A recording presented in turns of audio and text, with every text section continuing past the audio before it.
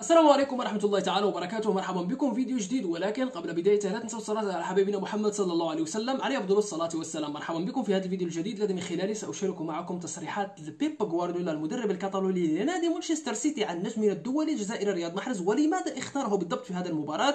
وكيف أشاد به بطبيعة الحال في الندوة الصحفية؟ وأيضا سأشارك معكم كيف انتقم يعني نيمار دا سيلفا من نجمنا الدولي الجزائري رياض محرز. وهنالك العديد من الأمور سنتعرف عليها أنا وإياكم هنا في هذا الفيديو. هذا ما سنتعرف عليه فإذا كنتم تشاهدون للمرة الأولى رجاء لا تنسوا الاشتراك في القناة وتفعيل زر التنبيهات لكي يصلكم كل ما هو جديد ينشر في هذه القناة مستقبلا. أولا بيب غوارديولا أشرك رياض محرز كلاعب أساسي في هذه المباراة أمام نادي باريس سان جيرمان واللي رياض محرز عنده أرقام كبيرة جدا أمام هذا الفريق الباريسي. بطبيعة الحال بيب غوارديولا صرح عن التشكيلة الذي دخل بها اليوم أعزائي الكرام خاصة أنه بيب غوارديولا استعمل تغييرين فقط يعني في هذه التشكيلة من أجل إقحامهم أمام نادي باريس سان جيرمان استبدل كل من يعني رياض محرز وأيضا حتى حتى يعني آه، رحيم ستيرلينغ في هذا اللقاء أمام نادي باريس سان جيرمان فصرح قائلا حسب تصريحات الصحفي والسؤال الذي طرحه عليه الصحفي قبل المباراة قائلا يعني ما هو سبب إشراك رياض محرز ورحيم ستيرلينغ؟ يعني أعطينا سبب اعتمادك على هذين اللاعبين في هذا اللقاء. يعني بيب غوارديولا صرح قائلا إنها بسبب خصائصهم المحددة التي نعتمد ونعتقد أننا بحاجة إليها في مثل هذه المباريات لا أعتقد أن اللاعبين يشعرون بالتعب. يعني بيب غوارديولا كان يحتاج رياض محرز وذلك بشكل رسمي في هذا اللقاء. هذه إشادة أولا من بيب غوارديولا على نجمنا الدولي الجزائري رياض محرز على أنه من أحد الركائز المهمة في نادي مانشستر سيتي. فقال لأنه يعني سبب استخدام رياض محرز في هذا اللقاء إنه بسبب خصائصه المحددة التي نعتقد بأننا بحاجة إليها اليوم. وفي مثل هذه المباريات لا أعتقد أن اللاعبين يشعرون بالتعب. يعني مباريات كبيرة اللاعبين ما يشعروش بالتعب خاصة أنه رياض محرز الكرام في هذه المباراة يعني ما كانش باين عليه باللي أنه تعبان في هذا اللقاء. لا بالعكس بل أصبح يعني يدافع ويساهم مع فريقه في خط الدفاع بشكل كبير جدا وكان متحرر وكانت عنده حرية كبيرة فوق أرضية الميدان في هذا اللقاء. بينما أيضا صرح بيب غوارديولا لدينا بالتأكيد فكرة في هذه المباراة وسنرى ماذا سيحدث. طبعا كانت هذه تصريحات بيب غوارديولا أعزائي الكرام مدرب نادي مانشستر سيتي يعني آه، قبل المباراة بدقائق. ولكن بعد انطلاق هذه المباراة أعزائي الكرام تفاجأنا بهدف من إدريسا غايي أعزائي الكرام في الدقيقة يعني الثامنة من عمر المباراة. مما نوعا ما يعني صدمت نادي مانشستر سيتي سيتي في استقباله لأول أهداف باريس سان جيرمان بشكل يعني سريع جدا وفي وقت باكر ولكن نادي مانشستر سيتي أعزائي الكرام من ناحية الضغط كان أفضل ومن ناحية الهجوم كان أفضل بكثير ورياض محرز كان الأفضل في هجوم نادي مانشستر سيتي في هذا اللقاء. الشيء اللي عجبني في نادي مانشستر سيتي في هذا اللقاء هو أنه بعد استقباله الهدف الباكر لم يتراجع مستواه بل بالعكس كان يضغط بشكل كبير جدا رغم أنه كانت كاينة بعض اللقطات القوية وبعض الهجمات القوية من نادي باريس سان جيرمان ولكن الإنهاء كان سيء جدا لنادي باريس سان جيرمان في بعض الحالات. أما بالنسبة لنادي مانشستر سيتي رأينا تضييع للعديد من الفرص من أبرزها تضييع آه، فرصة يعني آه، برناردو سيلفا.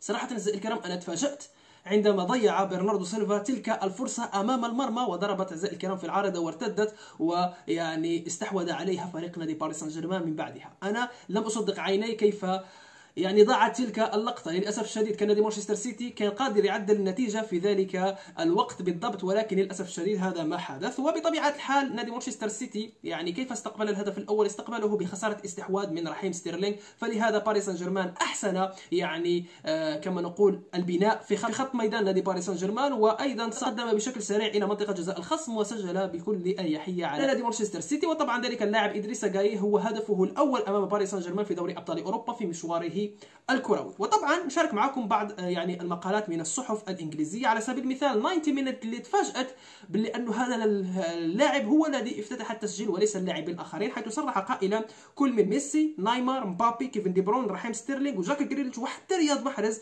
كانوا فوق أرضية ملعب يعني حديقة الأمراء. ولكن إدريس غايي هو الذي افتتح التسجيل.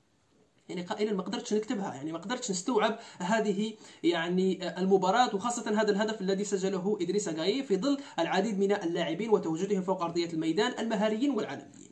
طبعا عندنا تصريح آخر من شيف سيتي الذي صرح قائلا وأشاد كثيرا برياض محرز قائلا باللي انه رياض محرز يعني يعمل بجهد كبير جدا لكي يساعد خط دفاع نادي مانشستر سيتي ويساعد دفاع نادي مانشستر سيتي وقائلا top class work from him so يعني قدم مستوى كبير ومستوى راقي قدمه رياض محرز في هذا اللقاء. أما رياض محرز الكرام اليوم يعني كانت مباراته يعني رقم 36 بدوري أبطال أوروبا ليصبح الجزائري الأكثر مشاركة بمسابقة أوروبية عبر التاريخ. رياض محرز متفوق على جميع اللاعبين الآخرين على أبرزهم أسطورة المنتخب الوطني الجزائري رابح ماجر. يعني رياض محرز بهذه المباراة يعني وصل إلى مباراة 36 في مشواره الكروي في دوري أبطال أوروبا. فنتمنى له كل التوفيق. مستقبلا ومزيدا من النجاحات.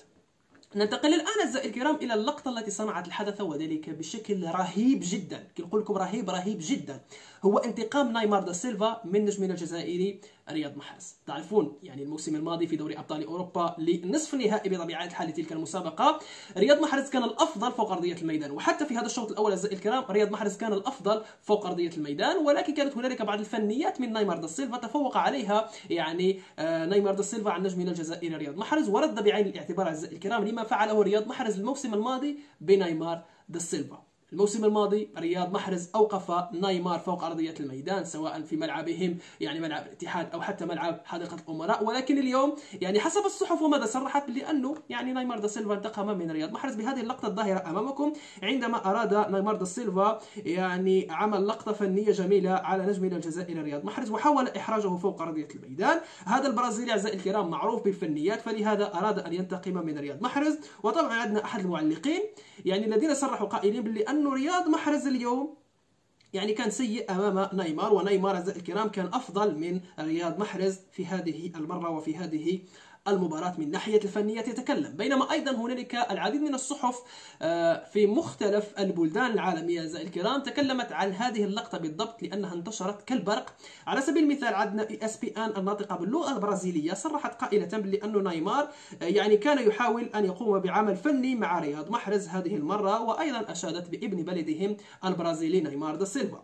بينما أيضا عندنا ESPN الناطقة يعني والخاصة بأخبار البيرو هي أيضا أشارت إلى هذه اللقطة ولقبتها باللقطة المميزة والذهبية كما تشاهدون من يعني نيمار دا سيلفا على رياض محرز والذي رياض محرز محرز يعاني أمام نيمار دا سيلفا. وبعض المقالات الأخرى قرأت أعزائي الكرام يعني عناوينهم قائلين باللي أنه رياض محرز آه ويعني راح عفوا نيمار دا سيلفا انتقم من رياض محرز. فما رأيكم أعزائي الكرام؟ هل رأيتم ذلك انتقام أم العكس؟ أما بالنسبة اعزائي الكرام لتنقيط رياض محرز للشوط الأول نتكلم رياض محرز تحصل على 7.0 من ضمن 10 بينما جاك جريليش 7 من ضمن 10 نتكلموا من ناحية الخط الهجومي رياض محرز كان الأفضل من ناحية لغة الأرقام على جميع اللاعبين في الخط الهجوم بينما أيضا كيفن دي بروين 6.7 رودريغو 7.1 برناردو سيلفا 6.4 جواو كانسيلو لابورت وروبين دياز ووالكر عندهم 6 كما تشاهدون ادرسون 6.3 بعد استقباله أول هدف من ادريسا جاي بينما أيضا كما قلنا رياض محرز تحصل على سبعة ولكن أرقامه كانت جيدة نوعا ما. قدم يعني آه، تسديدة خارج المرمى وتسديدة تم اعتراضها واحدة محاولات المراوغة الناجحة اثنان من أصل أربعة. لمس الكرة 44 مرة في الشوط الأول ونسبة يعني التمريرات الصحيحة بلغت يعني 90% نوعا ما هذه الأرقام جيدة. ورياض محرز كان الأفضل في الشوط الأول. كان يشكل خطورة كبيرة كلما لمس الكرة أمام نادي باريس سان جيرمان وتشكيلة بيب غوارديولا اليوم أعجبتني بشكل كبير جدا لأنه كان يلعب على الطرف الآخر ورياض محرز تكون عنده مساحة كبيرة جدا